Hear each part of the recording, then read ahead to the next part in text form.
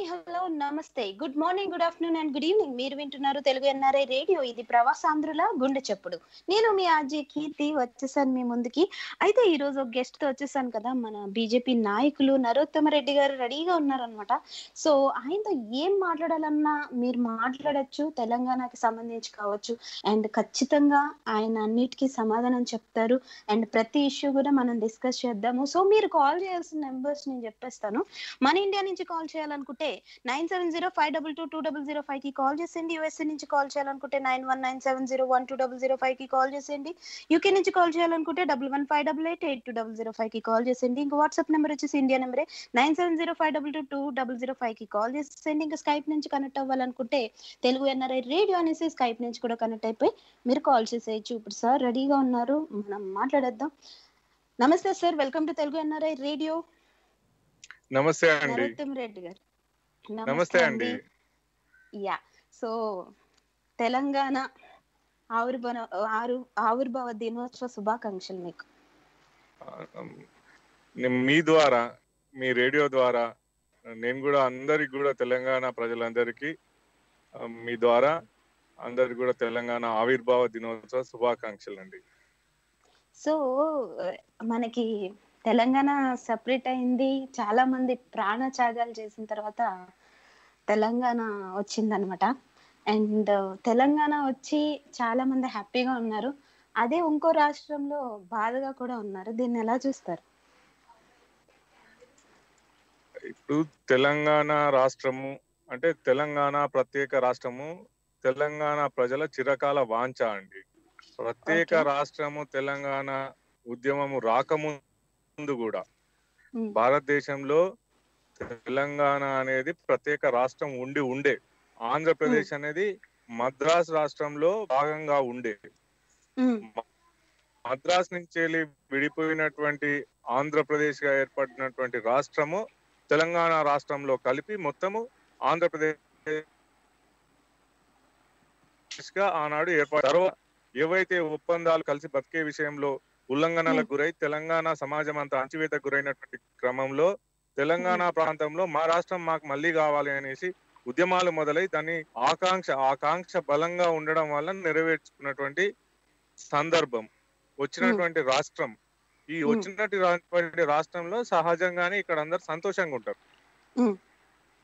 నేను ఏమంటున్నా ఈ పరిస్థితులను అర్థం చేసుకునేటువంటి మానసిక. స్థితి ఉన్నటువంటి అందరూ అంటే ఆంధ్రప్రదేశ్లో ఉన్నటువంటి తెలుగు వారందరూ కూడా అర్థం చేసుకుంటే ఒక సెంటిమెంట్గా భావిస్తే నిజంగా కూడా వాళ్ళు కూడా సంతోషంగా ఉంటారు.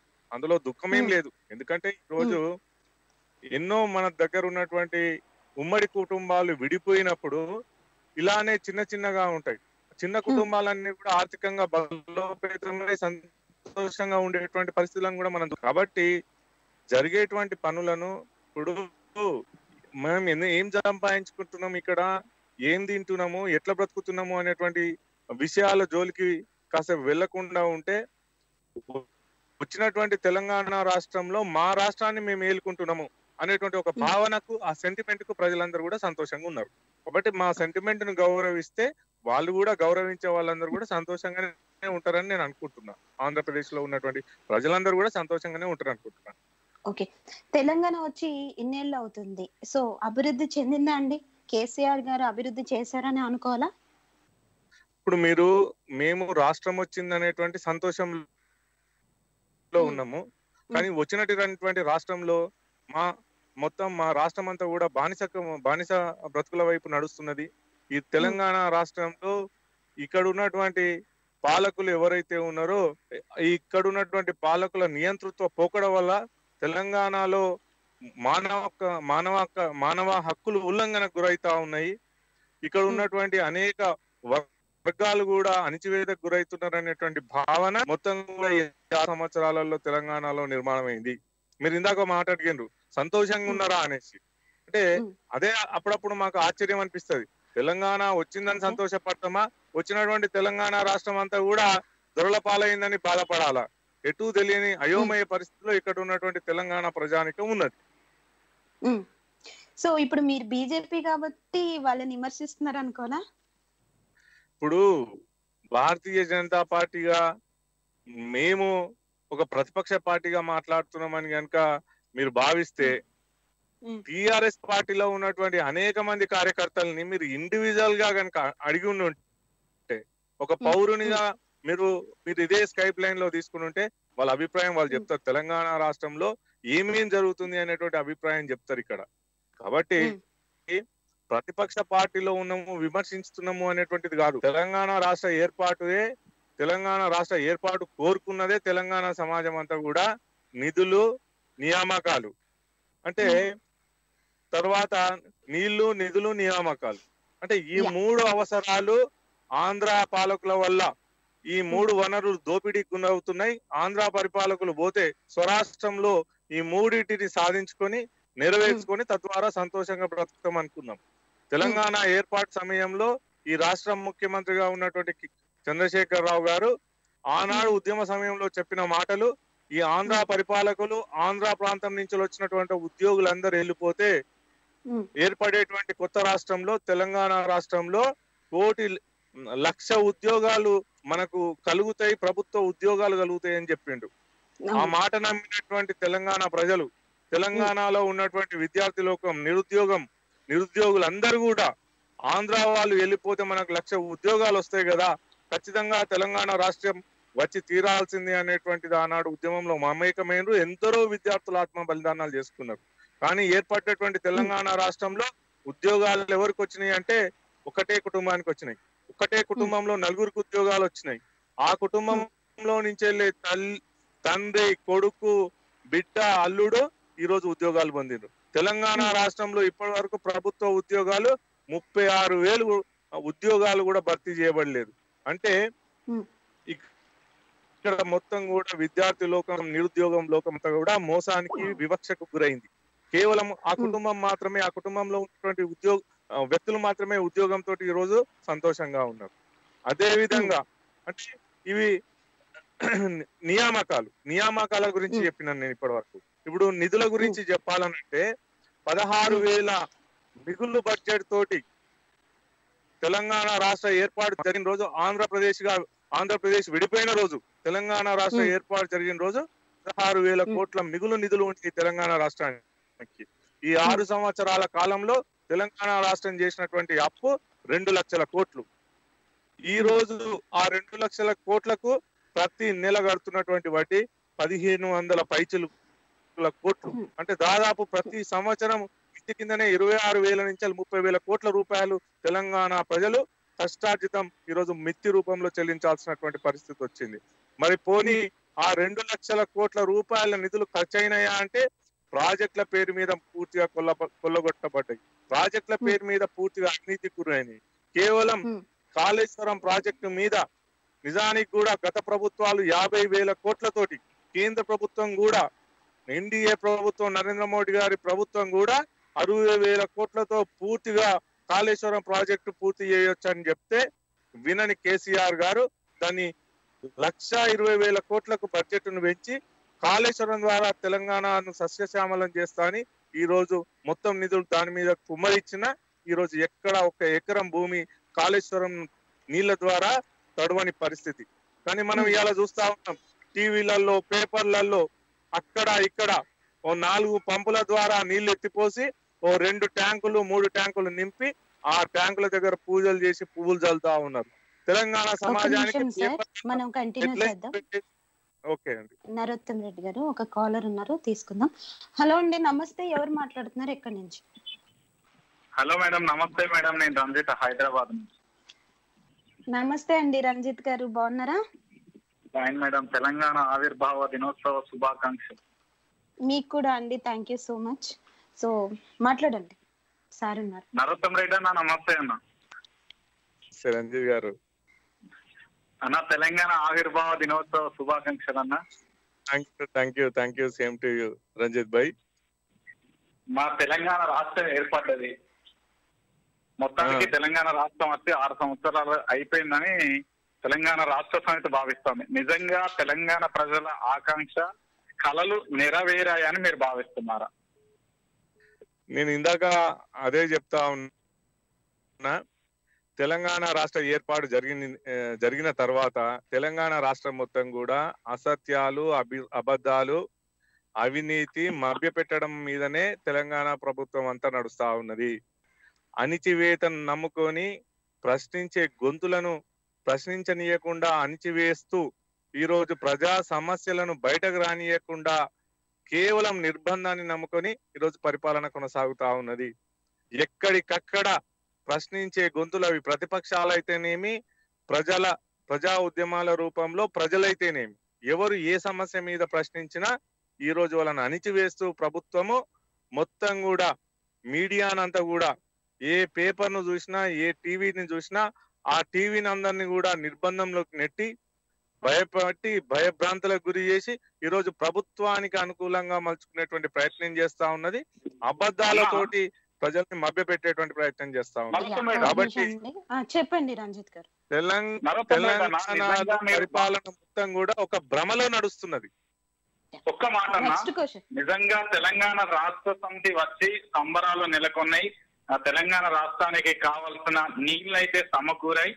నిధులు కూడా సమకూర్చుతున్నారు. అంటే రాష్ట్ర అభివృద్ధి కోసం ఏదైతే కావలసిన నిధులు తప్పుల పాలయాన్ని అంటే విపక్షాలుగా మీరు భావిస్తున్నప్పటికీ కూడా తెలంగాణ రాష్ట్రానికి తలమానికంగా మారిన నీళ్ళు ఏదైతే కాళేశ్వరం ప్రాజెక్ట్ ఇప్పుడు కీలకంగా మారింది అన్ని జిల్లాలకు కూడా నీరు అందుతుంది. ఇలాంటి పరిస్థితులలో ఒక ఉద్యోగాలు కావాల్సినంత అంటే తెలంగాణ రాష్ట్రం అని కాదు ఏ రాష్ట్ర ప్రభుత్వం వచ్చినా కూడా పూర్తి స్థాయిలో ప్రభుత్వ ఉద్యోగాల భర్తీ అనేది అసాధ్యం. ఇప్పుడు కేసీఆర్ మాట ప్రకారం నీళ్ళు ఇచ్చిండు నిధులు కూడా అంటే సమకూర్చొని అభివృద్ధి దిశలో పోవడం వల్ల తెలంగాణ రాష్ట్రానికి అప్పులపాలయం తప్ప అలాంటిది ఏమీ లేదంటూ తెలంగాణ ప్రభుత్వం వాదిస్తుంది నిజంగా తెలంగాణ అభివృద్ధి చెందిందని తెలంగాణ ప్రజలు గర్వించాలా? లేకపోతే ఆంధ్ర బానిసత్వం నుండి బయటకు వచ్చామని సంతోషపడాలా? దొరల గడియలని మీరు అన్నట్లుగా నిజంగా దొరల గడియలకు బానిసత్వం లేదా? లేకపోతే విపక్షాలు ఏదైతే నిజాయితీగా నిబద్ధతతోని ధర్నాలు కానీ లేకపోతే అధికార పార్టీ మీద విమర్శలు చేసే స్థాయిని కోల్పోయాయని భావించవచ్చా నేను ఒక మాట చెప్తాను రంజిత్ గారు. ఈ రోజు రెండు లక్షల కోట్ల రూపాయల అప్పు చేస్తే అప్పులో సింహభాగము కాళేశ్వరం ప్రాజెక్ట్ మీదనే ఖర్చు పెట్టిండ్రు. కాళేశ్వరం ప్రాజెక్టు ద్వారా రెండు వందల టీఎంసీలు నీళ్ళు తీసుకొచ్చి తెలంగాణలో ఇరవై లక్షల ఎకరాలకు నీళ్ళు అందిస్తున్నా అని చెప్తా ఉన్నాడు. నేను మనం ఛాలెంజ్ చేసి నేను నేను చెప్తా ఉన్నాను అడుగుతా ఉన్నాను. తెలంగాణలో ఆవిర్భావ దినం సందర్భంగా సంబరాలు జరుగుతా ఉన్నాయి. తెలంగాణలో నీళ్ళు వచ్చినాయి అనేసి సంబరాలు జరుగుతా ఉన్నాయని చెప్తా ఉన్నారు. ఈ సంబరాలు ఎవరు చేసుకుంటున్నారంటే టిఆర్ఎస్ పార్టీ ద్వారా టిఆర్ఎస్ పార్టీ ద్వారా కాంట్రాక్టులు పొంది లబ్ధి పొంది కోట్ల రూపాయలు ఎవరైతే సంపాదించుకున్నారో కాళేశ్వరం ప్రాజెక్టు ద్వారా అవినీతికి పాల్పడ్డారో వాళ్ళు ఈరోజు సంబరాలు చేసుకుంటా ఉన్నారు. నీళ్ళు కాదు ఇక్కడ రైతులకు వచ్చినాయి. ఏ అవినీతి సొమ్ము వర ఈ పారే టిఆర్ఎస్ పార్టీ జేబులలోకి వచ్చిందో వాళ్ళు ఈ రోజు సంబరాలు చేసుకుంటా ఉన్నారు తెలంగాణ రాష్ట్రంలో. నేను ముఖ్యంగా ఒకటే విషయం ఒక విషయం చెప్తాను. ఈ రోజు తెలంగాణ జలాలతోటి కాళేశ్వరం జలాలతోటి తెలంగాణ రైతుల కాలు గడుగుతున్నా అని చెప్తా ఉన్నాడు కేసీఆర్ గారు. ఈ రోజు కాళేశ్వరం ప్రాజెక్ట్ కింద మొత్తం ఇరవై ఐదు ప్రాజెక్టుల నిర్మాణం చేసిండ్రు. ఇరవై ఐదు డ్యామ్ల నిర్మాణం చేస్తే అందులో ఐదు డ్యాములు పాతవే రంజిత్ గారు. శ్రీపాద ఎల్లంపల్లి ప్రాజెక్టు. నరసమన్న ఒక్క నిమిషం అన్న. అంటే నిజంగా భారతీయ జనతా పార్టీ నిజంగా తెలంగాణలో అధికారం వస్తే టీఆర్ఎస్ ప్రభుత్వం లేదని ఒకవేళ భావించినప్పటికీ ఉదాహరణకు మీ ప్రభుత్వం అధికారంలో ఉంటే తెలంగాణ రాష్ట్రాన్ని ఎట్లా ఏ విధంగా అభివృద్ధి చేసేది? నేను ఒక్కటే ఒక్కటే ఒక్కటే ఒక ఉదాహరణ చెప్తా రంజిత్ గారు.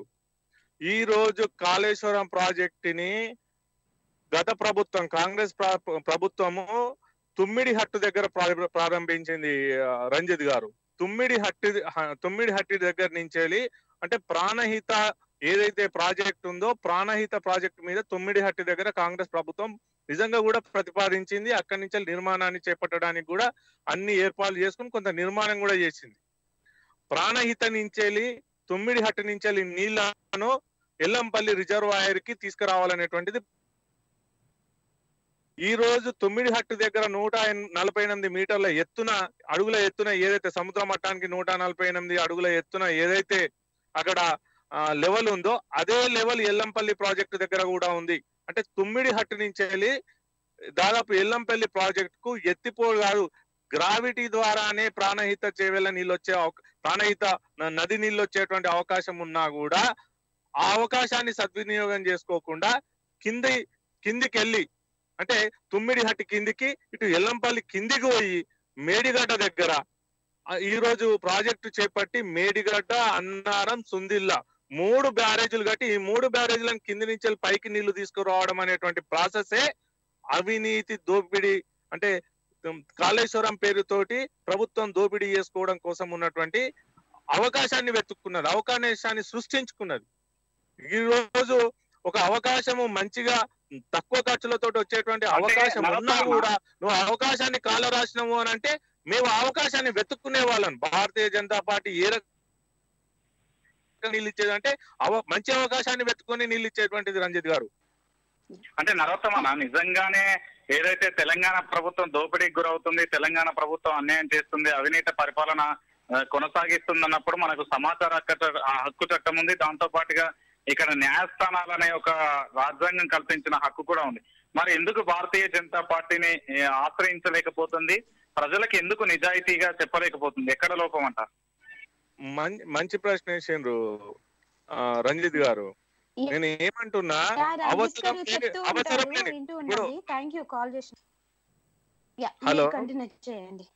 హలో ఈ రోజు తుమ్మిడి హట్టి దగ్గర నుంచి డైరెక్ట్గా ప్రాణహిత నీళ్ళు ఎల్లంపల్లికి తీసుకొచ్చేటువంటి అవకాశం ఉన్నా కూడా అవకాశాన్ని వాడుకోకుండా మూడు ప్రాజెక్టులు అనవసరంగా కట్టి దానికి విద్యుత్తు దండగా రివర్స్ ఎత్తిపోతల ద్వారా ఎంతైతే ఖర్చు పెడతారో ఆ ఖర్చు దండగా. మనం అడగొచ్చు ఆ ఖర్చు పెట్టిండు కదా అని. మేము అంటున్నాము అభివృద్ధి పేరుతో అవినీతిని ఏదైతే పాల్గొ పాల్పడతా ఉన్నాడో మేము దాన్ని ప్రశ్నిస్తా ఉన్నాం. దాన్ని నిరూపించొచ్చు కదా అంటే ఇక్కడ అదే సమస్య ఏర్పడతా ఉన్నది. అవసరం లేని పని చేసి దాంట్లో కమిషన్లు దండుకుంటా ఉన్నాడు. అక్కడ పనేమో కనబడతా ఉన్నది. పని నిరుపయోగం మనకు అవసరం లేని పనిగా కనబడతా ఉన్నది. అవసరం లేని పనులను సృష్టించి డబ్బు ఏదైతే దండుకుంటా ఉన్నాడో చూస్తేనేమో పని కనబడటట్టు కనబడుతుంది పని చేసినట్టు కనబడుతుంది. ప్రజలకేమో అది అక్కడ రాదు. ఈ రకమైనటువంటి తెలివితో ఈ రోజు అవినీతి చేస్తా ఉన్నారు కాబట్టి ఇప్పటికి కూడా ఇప్పటికి కూడా కొంత దొరకలేనటువంటి పరిస్థితి దొరకని పరిస్థితి తయారైంది. కాబట్టి మేమేమంటున్నాము? తెలంగాణ రాష్ట్రానికి నువ్వు నిజంగా కూడా నీళ్ళు తీసుకొద్దాం అనుకుంటే మంచి అవకాశాలు వెతికేవాడివి. నువ్వు వెతుక్కునేవన్నీ కూడా డబ్బులు ఏ రకంగా ఎంత ఖర్చు పెట్టి సంపాదించుకోవచ్చు అనే దాన్ని నువ్వు వెతుక్కున్నావు. ఈ రోజు కాళేశ్వరం ప్రాజెక్టు ద్వారా కేవలం నువ్వు ఇరవై ఐదు ప్రాజెక్టులను అంటే కాళేశ్వరం ద్వారా నీళ్ళు తీసుకురావడానికి ఇరవై ఐదు డ్యాములు కన్స్ట్రక్షన్ చేస్తున్నా అని చెప్పినావు. అందులో ఐదు డ్యాములు కూడా గత ప్రభుత్వాలు కట్టినాయి. నువ్వు కట్టినవి కాదు. ఎల్లంపల్లి ప్రాజెక్టు కానీ మిడ్ మానేర్ కానీ పైన ఉన్నటువంటి కడెం ప్రాజెక్టు కానీ అప్పర్ మానేర్ కానీ మధ్యలో చిన్న చిన్న ఆన్లైన్ ప్రాజెక్ట్ ఉంది. అది కూడా ఈ ఐదు కూడా గత ప్రభుత్వాలు కట్టినాయి. ఈ తెలంగాణ రాష్ట్ర ప్రభుత్వం కాళే కాళేశ్వరం ప్రాజెక్ట్ కింద ఐ- ఇరవై ప్రాజెక్టులను ప్రపోజ్ చేస్తే దాంట్లో ఇప్పటి వరకు కన్స్ట్రక్షన్ అయినాయి. ఏడు ప్రాజెక్టులు మాత్రమే. మిగతా పదమూడు ప్రాజెక్టులు కాకుండా కాళేశ్వరం నీరు గ్రామ గ్రామానికి ఊరూరికి చెరువు చెరువుకు ఏ రకంగా చేరింది చేరిందనేసి మేము ప్రశ్నిస్తా ఉన్నాము. ఈ రోజు ఏడు ట్యాంకులకు నీళ్ళు వచ్చినంత మాత్రాన గోదావరి ఆ గోదావరి నీళ్ళు వచ్చినంత మాత్రాన తెలంగాణ సస్యశ్యామలం కాలేదు. మేము దాన్నే ప్రశ్నిస్తా ఉన్నాం. ఈ రోజు కొత్త నాటకానికి తెరలేపిండు తెలంగాణ రాష్ట్ర ముఖ్యమంత్రి గారు. ఈ రోజు దే రాష్ట్రములో ప్రతి సంవత్సరం కూడా వర్షాకాలములో కోటి ఎకరాలు సాగైతది. అన్ని పంటలు కలిపి పత్తి గాని కంది గాని జొన్న గాని లేకపోతే సోయా చిక్కుడు గాని వరి గాని ఇవన్నీ కలిపితే కోటి ఎకరాలకు సాగైతది ఇక్కడ. కానీ ఇప్పుడున్నటువంటి తెలంగాణ రాష్ట్ర ప్రభుత్వము ఇటు కాళేశ్వరం ప్రాజెక్టు ద్వారా అటు కృష్ణా వాటర్ ద్వారా అంటే అక్కడ ఉన్నటువంటి జూరాల నెట్టెంపాడు భీమా కల్వకు పాలము రంగారెడ్డి ఎత్తిపోతల పథకాల ద్వారా అటు దక్షిణ తెలంగాణ ఇటు ఉత్తర తెలంగాణలలో కోటి ఎకరాలకు నీళ్ళు అందిస్తున్నాం. నిజంగా మనం అందరం కూడా గమనించాల్సిన అవసరం ఉన్నది. ప్రతి వర్షాకాలం తెలంగాణలో ఈ ప్రాజెక్టులు ఉన్న ప్రాజెక్టుల కింద అదే విధంగా ప్రాజెక్టులు లేని ప్రాంతాలలో వర్షపు నీళ్ళతోటే కోటి ఎకరాలు సాగైతుంటే ఈ రెండు ప్రాజెక్టుల ద్వారా మళ్ళీ కోటి ఎకరాలు సాగైతున్నాయి అని చెప్తున్నాడు. మళ్ళీ మొత్తం కలిపి కూడా అవే కోటి అని చూపిస్తున్నాడు. కేవలం తెలంగాణ ప్రజలను గోల్మాల్ చేస్తా ఉన్నాడు. ఈరోజు టిఆర్ఎస్ పార్టీ కేసీఆర్ గారు వర్షం ద్వారా పండేటువంటి పంటలు కూడా కాళేశ్వరం నీళ్ళ ద్వారా వాడిని చెప్పే ప్రయత్నం చేస్తా ఉన్నాడు. కాబట్టి ఇదంతా బూటకం. తెలంగాణలో జరుగుతున్నటువంటి అభివృద్ధి అంతా కూడా బూటకం. కాబట్టి మేము గట్టిగా భావిస్తున్నాము. ఇటు ఉద్యోగాలు ఇవ్వలేదు ఇటు నీళ్ళు ఇవ్వలేదు అదే విధంగా నియామక నిధులు నీళ్ళు నియామకాలు. ఏమి నిధులను కొల్లగొడ నియామకాలు లేవు నీళ్ళు రావు. ఈ రకంగా ఈ రోజు తెలంగాణలో ఇవన్నీ ప్రశ్నిస్తే ప్రశ్నించే గొంతులు ఉండవు. ఈ రకమైనటువంటి పరిపాలన ఈ రోజు తెలంగాణ రాష్ట్రంలో జరుగుతా ఉన్నదని మేము భావిస్తా ఉన్నాం. ఓకే ఏపీ ప్రభుత్వానికి కావచ్చు తెలంగాణ ప్రభుత్వానికి కావచ్చు ఈ జల విషయాల్లో ఎందుకు గొడవలు అవుతున్నాయి? వాళ్ళు దోచుకుంటున్నారని వాళ్ళని ఎందుకు మీరు బ్లేమ్ చేయడం జరుగుతుంది ఆంధ్రప్రదేశ్? హలో? వినిపిస్తుందా అండి? నేను ఏమ- ఏమంటున్నా. కీర్తిగా హలో? నేను ఏమంటున్నా తెలంగాణ రాష్ట్ర ఏర్పాటుకు ముందు ఉమ్మడి ఆంధ్రప్రదేశ్లో ఉన్నప్పుడే ఈ జలాలన్నింటినీ కూడా ప్రాంతాల వారిగా కేటాయించిండ్రు.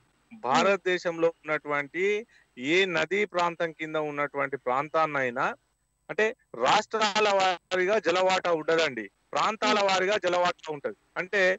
ఈ రోజు మనకు తెలంగాణ రాష్ట్రానికి సపరేట్ ఆ వాటా అని అంటే అంటే ఆ ఆ నది కింద ఎంత ప్రాంతం ఉందో ఆ ప్రాంతానికి ఎంత ఇవ్వాలనేటువంటిది జలవాటా ఉంటది.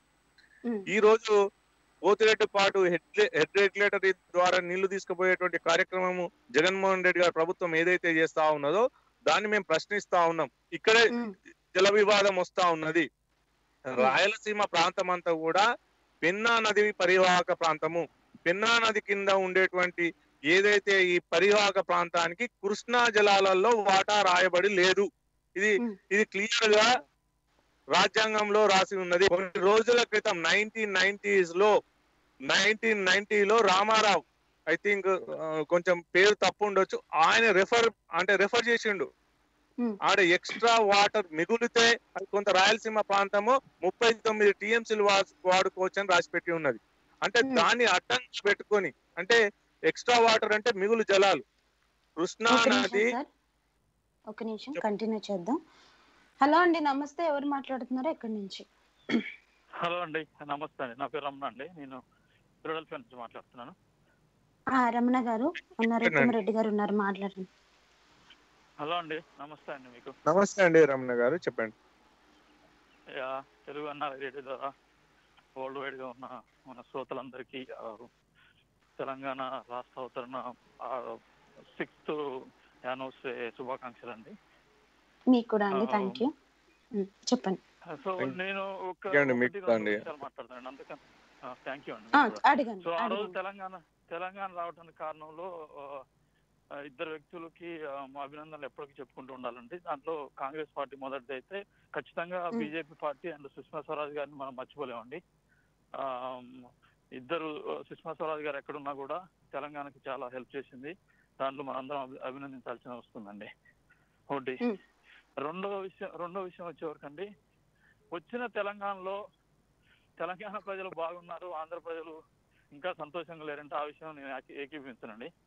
ఎందుకు. అనంటే వచ్చి ఆరు సంవత్సరాలు అయింది పోటీ పడుతున్నాము. అంటే చిన్న రాష్ట్రాలు కాబట్టి బాగా అభివృద్ధి చెందుతున్నాయి. ఇండియాలో చాలా రాష్ట్రాల కన్నా కూడా మనం ముందున్నాం కాబట్టి అది కరెక్ట్ కాదని నేను అనుకుంటున్నాను. రెండో విషయం ఏంటంటే ఇప్పుడు తెలంగాణ వచ్చింది అయిపోయింది ఆరు సంవత్సరాలు డైరెక్ట్గా మీరు క్వశ్చన్ అడగండి సార్. సార్ ఏమైనా క్వశ్చన్ అడగాలనుకుంటే ఆయన బీజేపీ నాయకులు. సో ఆయన క్వశ్చన్ చెప్తారు ఆన్సర్ చెప్తారు. ఎందుకు? నీ- నా దృష్టిలో అండి ప్రభుత్వం కన్నా విపక్షాలు విఫలమయ్యా అని చెప్పి అనుకుంటున్నాను అండి నేను. అది కాంగ్రెస్ పార్టీ కావచ్చు బీజేపీ పార్టీ కావచ్చు. చాలా విషయాలు. ఒక్క విషయం కాదు. ఎందుకు అంటే సార్. ఇప్పుడు మాట్లాడుతున్నారు పోలో సారీ మన కాళేశ్వరం ప్రాజెక్ట్ గురించి. బీజేపీ. పార్టీ ఎప్పుడు కూడా కాళేశ్వరం ప్రాజెక్ట్ గురించి. ఒక పవర్ పాయింట్ కూడా ఎక్కడ ఇచ్చిన దాకా నేను చూడలేదండి ఒకవేళ ఇచ్చుంటే. అది మీడియా ఏమైనా కవర్ చేయలేదేమో నాకు తెలియదు ఒక. విషయం అండి రెండో విషయం. విషయం అండి మ్మ్. చెప్పండి ఆ, ఒక్క ఒక్క- ఇంకో విషయం అండి రెండో విషయం ఏంటంటే కేసీఆర్ గారు ఎప్పుడు ఒక మాట అంటుంటారు బీజేపీ. సరిగా తెలంగాణ రాష్ట్రాన్ని సరిగా ఆలోచన కూడా ప్రెస్ కాన్ఫరెన్స్లో చెప్పారు మనకి ఇచ్చే అని నిధులు. ఇవ్వట్లేదు అని అంటే ఏ ఒక్క బీజేపీ నాయకుడు కూడా లెక్కలతో సహా ఈ రోజు వరకు చెప్పలేకపోయారండి నేను అనుకుంటున్నాను ఈ రోజు వరకు కూడా బీజేపీ అన్ని రాష్ట్రాలకు చేసినంత సాయం తెలంగాణ రాష్ట్రానికి చేయలేదనేది నా నా పర్సనల్ అభిప్రాయం అండి. అది తప్ప ఓకే సార్ చెప్తారు వింటూ ఉండండి sir. Thank you so much call చేసినందుకు. సో నరోత్తం రెడ్డి గారు. నేను ఏమంటున్నా ఏర్పడేటువంటి రాష్ట్రంలో. మొట్టమొదటిగా టిఆర్ఎస్ పార్టీకి అవకాశం ఇచ్చారు ఇక్కడ ఉన్నటువంటి తెలంగాణ ప్రజలు. ఎందుకంటే. తెలంగాణ ఉద్యమ సమయంలో తెలంగాణ ఏర్పాటు కోసం జరుగుతున్నటువంటి ఉద్యమంలో ఇక్కడ ఉన్నటువంటి సమస్యలను బలంగా టిఆర్ఎస్ పార్టీ టిఆర్ఎస్ పార్టీ అధినేత కేసీఆర్ గారు లేవనెత్తినప్పుడు అది ప్రజలకు చొచ్చుకు వెళ్ళినటువంటి మాట వాస్తవం. తద్వారా ఏర్పడినటువంటి రాష్ట్రంలో అవ- సమస్యల మీద అవగాహన ఉన్నటువంటి వ్యక్తికే మనం అవకాశం ఇస్తే అధికారం ఇస్తే ఆయన అవగాహనతోటి ప్రజలకు న్యాయం చేస్తారు అనేటువంటి భావనతోటి ఇక్కడ ప్రజలు అధికారం ఇచ్చిండ్రు.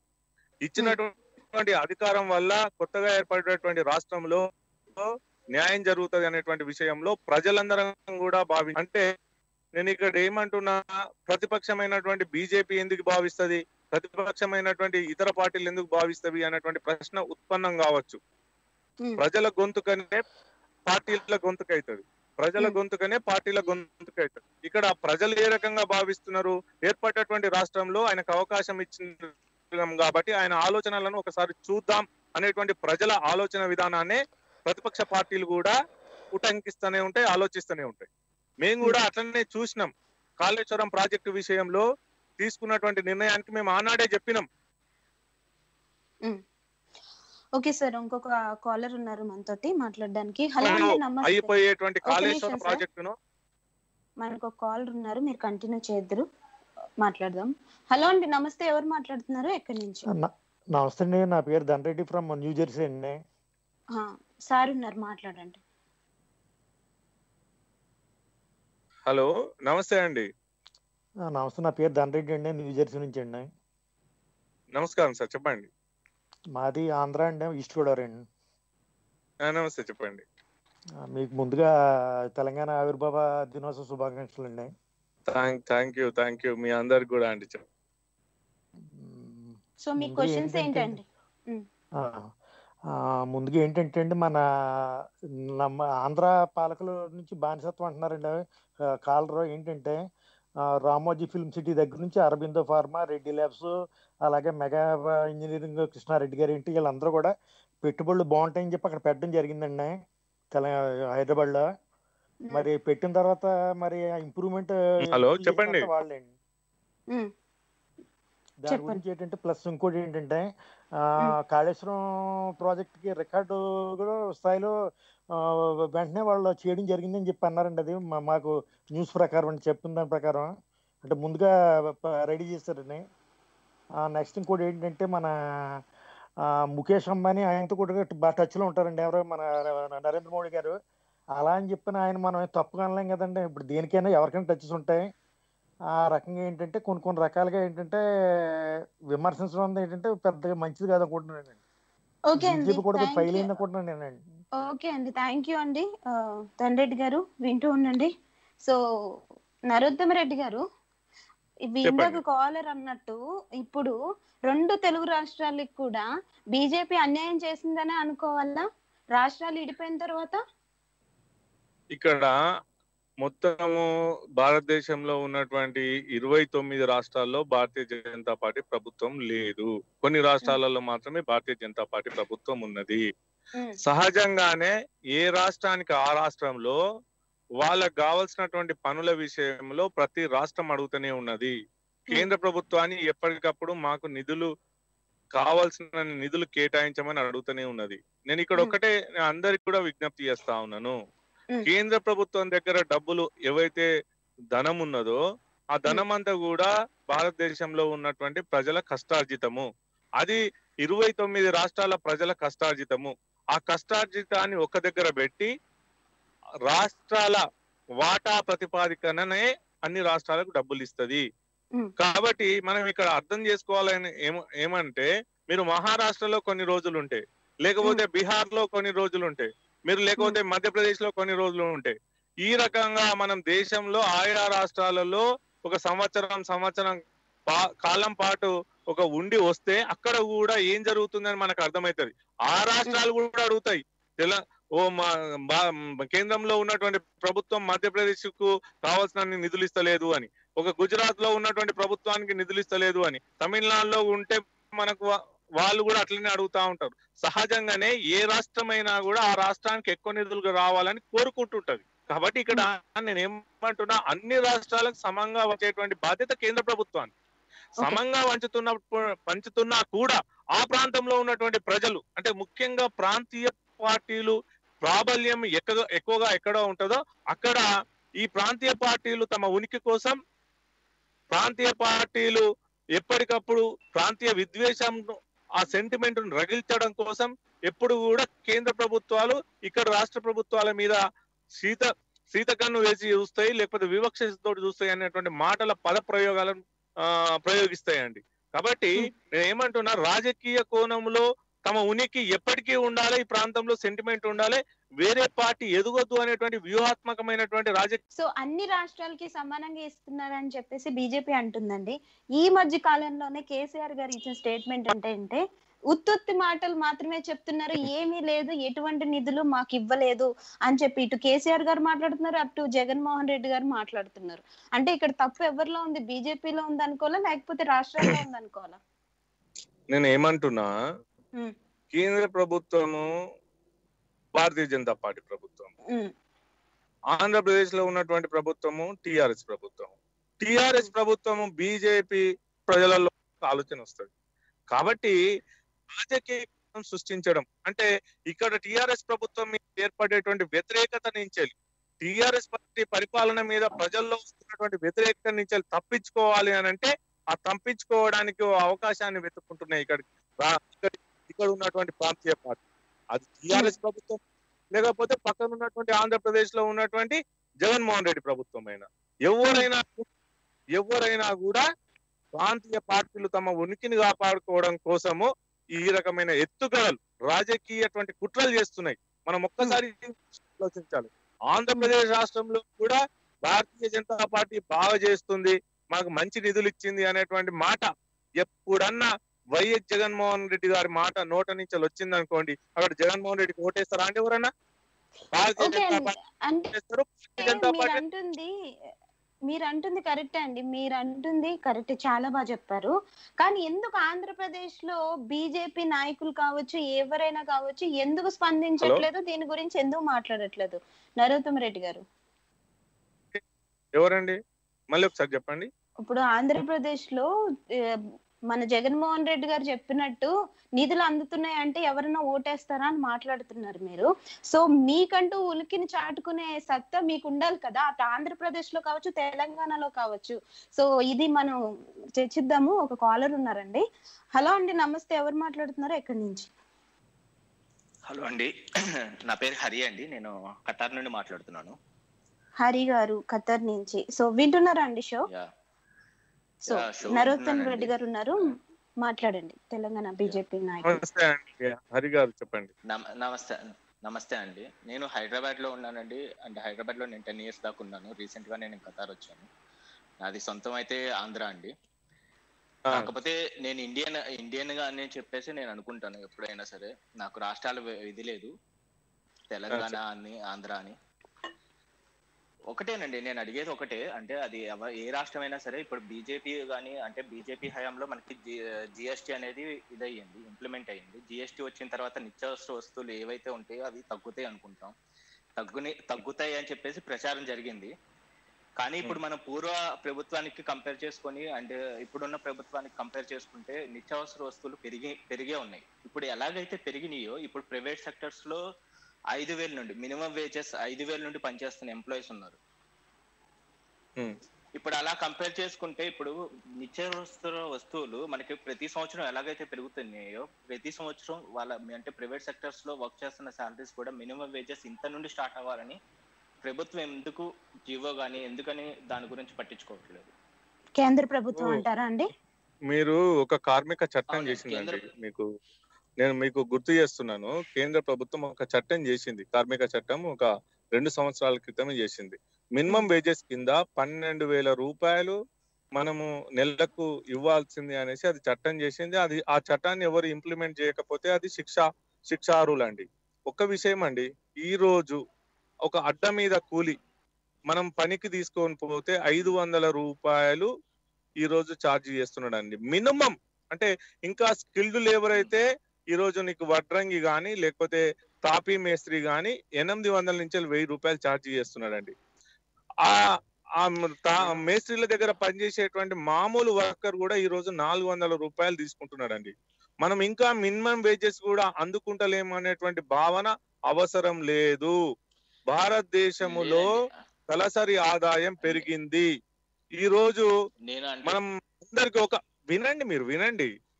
మీరు లేదు అన్నంత మాత్రాన ఈ రోజు జరిగేటువంటి అంటే జరుగుతున్నటువంటి వాస్తవాన్ని ఎవరు మార్చలేరండి. మీరు ఒక బిల్డింగ్ కన్స్ట్రక్షన్ లేబర్ దగ్గరికి వెళ్ళండి మీరు. బిల్డింగ్ కన్స్ట్రక్షన్ లేబర్ ఒక మేస్త్రికి ఎంత ధరిస్తుండో చెప్పండి. లేదంటే ఆ మేస్త్రి దగ్గర పనిచేసేటువంటి కూలీకి అంటే కట్టమోస్తాడు తను సిమెంటు ఇసుక తీసుకెళ్ళి ఇస్తాడు అక్కడ పోస్తాడు. అది- చివరి ఆ వ్యక్తి ఏమీ పని ఏమీ స్కిల్ లేనటువంటి వ్యక్తి చేసేటువంటి వ్యక్తికి ఎంత డబ్బులు వస్తున్నాయో ఒకసారి మీరు మార్కెట్లో తెలుసుకోండి. ఇప్పుడు నేను ఏమంటున్నా లేదండి, అంటే ఇప్పుడు- హలో? చెప్పండి. హలో. ఈ రోజు జాతీయ ఉపాధి హామీ పథకం అంటే గ్రామీణ ప్రాంతాలలో ఉండేటువంటి ఎవరైతే వ్యక్తులు ఉంటారో భారతదేశం మొత్తంలో కశ్మీర్ నుంచి కన్యాకుమారి దాకా గుజరాత్ నుంచి చిట్ట చివర మిజోరం వరకు అన్ని రాష్ట్రాలలో గ్రామీణ ప్రాంతాలలో ఎవరైతే ఉంటారో గ్రామీణ జాతీయ జాతీయ గ్రామీణ ఉపాధి హామీ అయితే గ్రామాలలో ఉన్న అందరు వ్యక్తులు ఒక రెండు గంటల పాటు ఎనిమిది గంటల నుంచి పది గంటల పాటు రెండు గంటల పాలు పాటు పని చేసుకుంటే ప్రభుత్వము ఒక్కరికి రెండు వందల రూపాయల చొప్పున చెల్లిస్తా ఉన్నది. ఈ రోజు ఈ కరోనా సమయంలో లాక్డౌన్ సమయంలో కూడా భారతదేశంలో ఉన్నటువంటి అరవై శాతం మంది ఈ గ్రామీణ ప్రాంతాలలో ఉండేటువంటి ప్రజలను ఇలా జాతీయ ఉపాధి ఉపాధి హామీ పథకమే ఆదుకున్నది ఇంట్లో నలుగురు ఉంటే నలుగురు నలుగురికి కూడా రెండు గంటల పాటు. కూలి పనికి వెళ్తే ఎనిమిది వందల నుంచి వెయ్యి రూపాయలు వస్తున్నాయండి ఓకే.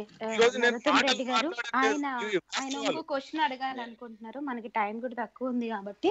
సో ఇంకేమైనా క్వశ్చన్ ఉన్నది మీకు? క్వశ్చన్ ఉందా. చెప్పండి. లేదండి. అంటే ఇప్పుడు నేను అడిగేది స్కిల్ లేబర్ గురించి వీళ్ళ గురించి కాదు. యాక్చువల్గా నేను ఇప్పుడు ప్రైవేట్ సెక్టర్స్లో చాలా మంది ఎంప్లాయీస్ పనిచేస్తున్నారు. వాళ్ళ. మినిమం వేజెస్ వచ్చేసరికి ఇప్పుడు మనం కంపేర్ చేసుకుంటే జియో వచ్చేసరికి మీరు అంటే టూ ఇయర్స్ బ్యాక్ ఫామ్ అయింది అంటున్నారు.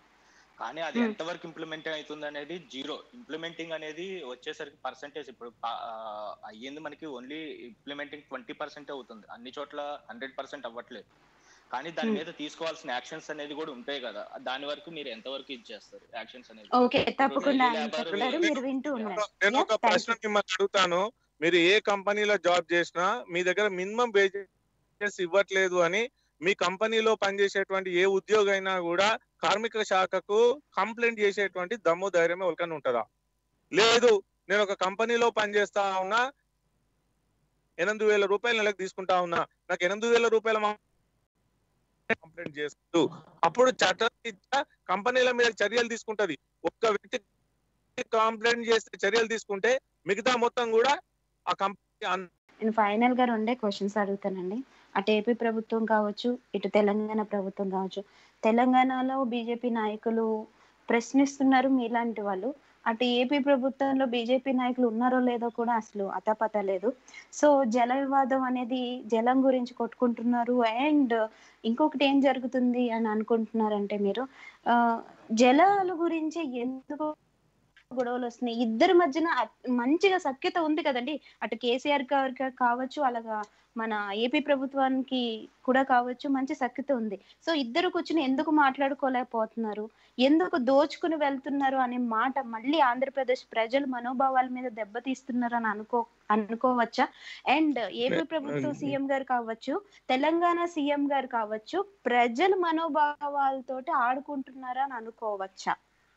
నేను నేను నేను అదే మిమ్మల్ని ప్రశ్నిస్తున్నా ఉమ్, కీర్తిరెడ్డి గారు ఈ రోజు తెలంగాణ రాష్ట్రంలో ఎన్నికలు జరిగిన తర్వాత ఇక్కడ ముఖ్యమంత్రి అధికారాన్ని చేపట్టిన తర్వాత జరిగినటువంటి ఎన్నికలు ఆంధ్రప్రదేశ్ ఎన్నికలు. ఆంధ్రప్రదేశ్లో ఎన్నికలు జరిగి అక్కడ ముఖ్యమంత్రిగా జగన్మోహన్ రెడ్డి గారు ఎన్నుకోబడేటువంటి ప్రక్రియలో కూడా జగన్మోహన్ రెడ్డి గారికి ఎంత సాయం చేసిండో కేసీఆర్ గారు అది ప్రపంచానికి తెలుసు. జగన్మోహన్ రెడ్డి గారు ముఖ్యమంత్రి కావడంలో కేసీఆర్ పాత్ర కూడా ఎంతో కొంత ఉందని చెప్పుకున్నారు వాళ్ళే బయట. అట్లాంటి మంచి మిత్రత్వం ఉన్నటువంటి ఇరు రాష్ట్రాల ముఖ్యమంత్రులు జగన్మోహన్ రెడ్డి గారు ముఖ్యమంత్రి అయిన తర్వాత హైదరాబాద్కు వచ్చిన వెంటనే కేసీఆర్ ఇంటి గారి ఇంటికి వెళ్ళి కలిసినటువంటి సందర్భాన్ని మనం చూసినాం. తర్వాత ఇరు రాష్ట్రాల మధ్య ఉన్నటువంటి సమస్యలు చర్చించుకోవడానికి కలిసినటువంటి సందర్భం చూసినాం. తర్వాత గోదావరి నదీ జలాలను తీసుకొచ్చి ఇటు.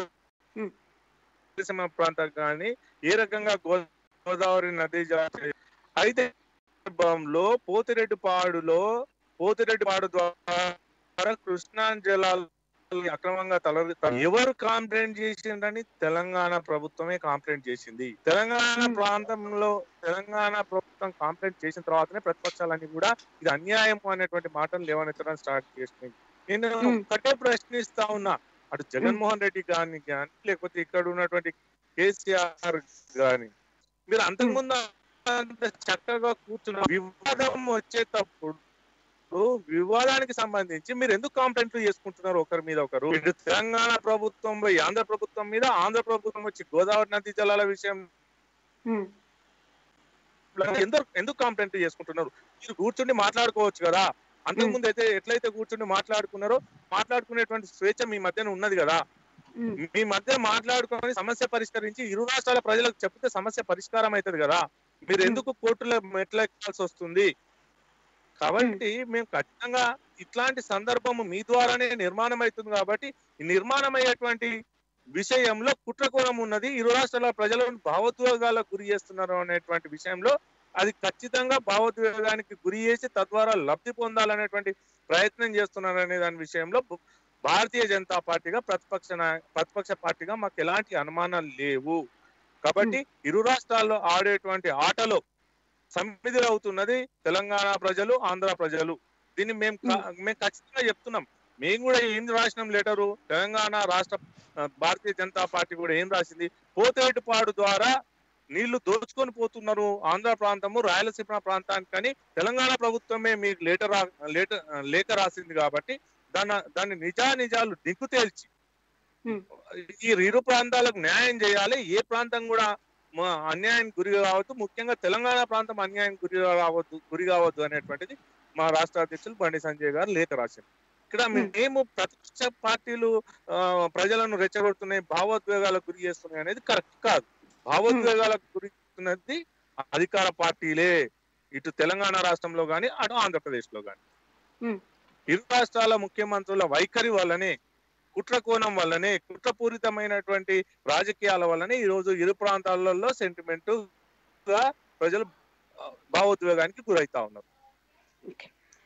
Thank you sir thank you so much నేను అడగంగానే షోకి వచ్చి ఇన్ని మంచి విషయాలు షేర్ చేసుకున్నందుకు థ్యాంక్ యూ సో మచ్ ఇక మీదట కూడా బీజేపీ ప్రభుత్వం అన్ని రాష్ట్రాలని బాగా చూసుకుంటుందని నేను మనస్ఫూర్తిగా కోరుకుంటున్నాను. ఇంకా ఫైనల్గా బీజేపీ తరపు నుంచి మీరేం చెప్పాలనుకుంటున్నారు? నేను దేశ ప్రజలందరికీ ఎందుకంటే ఈ రేడియోలో ఆ, Hmm. తెలంగాణ రాష్ట్రం అనే కాదు ఆంధ్రప్రదేశ్ అనే కాదు ఎవరైనా ఉండొచ్చు. Hmm. వాళ్ళందరికీ నేను విజ్ఞప్తి చేస్తా ఉన్నా. ఈ ఆరు సంవత్సరాల నరేంద్ర మోడీ గారి ప్రభుత్వంలో దేశం బలోపేతమైంది. ప్రపంచంలోనే కొనుగోలు శక్తిలో మూడవ దేశంగా నిలిచింది. అదే విధంగా ఈ రోజు ఆర్థిక శక్తి అంటే భారతదేశం యొక్క సంపద భారతదేశం యొక్క ఆర్థిక స్థితి ప్రపంచంలోనే నాలుగవ స్థానానికి వచ్చింది. యూపీఏ ప్రభుత్వం ఉన్నప్పుడు భారతదేశం యొక్క ఆర్థిక శక్తి ఎనిమిదవ స్థానంలో ఉండే. యూపీఏ ప్రభుత్వం ఉన్నప్పుడు భారతదేశంలో ఉన్నటువంటి ప్రజల శక్తి కొనుగోలు శక్తి దేశంలో ప్రపంచంలో పన్నెండవ స్థానంలో ఉండే ఈ భారీ మార్పుకు గల కారణము కేవలం నరేంద్ర మోడీ గారి ప్రభుత్వ విధానాలే. యూపీఏ ప్రభుత్వ హయాంలో రెండు వేల పద్నాలుగులో ఈ దేశం యొక్క మూలధనం విలువ వంద పది కోట్ల వంద పది పది వంద పది లక్షల కోట్లు నరేంద్ర మోడీ గారి ప్రభుత్వం ఏర్పాటు తర్వాత ఆరు సంవత్సరాల కాలంలో అది రెండు వందల పది లక్షల కోట్లకు చేరింది. అంటే కేవలం ఆరు సంవత్సరాల కాలంలో నరేంద్ర మోడీ గారి ప్రభుత్వం వంద లక్షల కోట్ల రూపాయల సంపద సృష్టించింది. కాబట్టి ఈ రోజు భారతదేశంలో ఉన్నటువంటి ప్రజల కొనుగోలు శక్తి పెరిగింది. అదే విధంగా ప్రపంచంలోనే మూడవ కొనుగోలు శక్తిదారునిగా తయారైంది. అదే విధంగా నాలుగవ భారతదేశం అత్యంత శక్తి అంటే ధనిక ఆర్థిక శక్తిగా పెరిగింది. కాబట్టి అవినీతి లేనటువంటి పరిపాలన అందించేటువంటి నరేంద్ర మోడీ గారి ప్రభుత్వాన్ని ప్రజలందరూ కూడా ఎప్పుడు దీవిస్తే ఖచ్చితంగా భవిష్యత్తులో కూడా ప్రపంచంలోనే ఈ రోజు భారతదేశ ప్రపంచంలోనే మొదటి శక్తిగా అమెరికా ఉంది రెండో దేశంగా చైనా ఉంది. ఖచ్చితంగా త్వరలోనే మనం చైనాను వెనుకకు నెట్టి రెండో స్థానానికి వచ్చేటువంటి అవకాశం ఉంటుందని మీ అందరికీ ఈ మీ ద్వారా విజ్ఞప్తి చేస్తా ఉన్నాను. ఓకే అండి. థ్యాంక్ యూ నరోత్తమ్ రెడ్డి గారు. థ్యాంక్ యూ సో మచ్ మీరు పనుందన్నారు. ఇంతసేపు కేటాయించినందుకు తెలుగు ఎన్ఆర్ఐ రేడియో తరపు నుంచి మీకు ధన్యవాదాలు. సో బిజినెస్ విన్నర్ కదా మరి ఈ రోజు ఇదండి. మరి రేపు మరి వైసీపీ పర్సన్ తోటి వైసీపీ స్పోక్స్ పర్సన్ తోటి వన్ ఇయర్ కంప్లీట్ చేసుకున్న సందర్భంగా మరి నాగార్జున గారు వచ్చేస్తున్నారు స్పోక్స్ పర్సన్ మీకు ఎటువంటి సందేహాలు ఉన్నా రేపు కాల్ చేయొచ్చు మాట్లాడొచ్చు. సో అస్సలు మిస్ అవ్వద్దు. తెలుగు ఎన్ఆర్ఐ రేడియో వింటూ ఉండండి. రేపటి దాకా విను వినిపించు ప్రవాసాంధ్రులు ఉండేటప్పుడు తెలుగు ఎన్ఆర్ఐ రేడియో. నేను మీ ఆర్జే కీర్తి సైనింగ్ బాయ్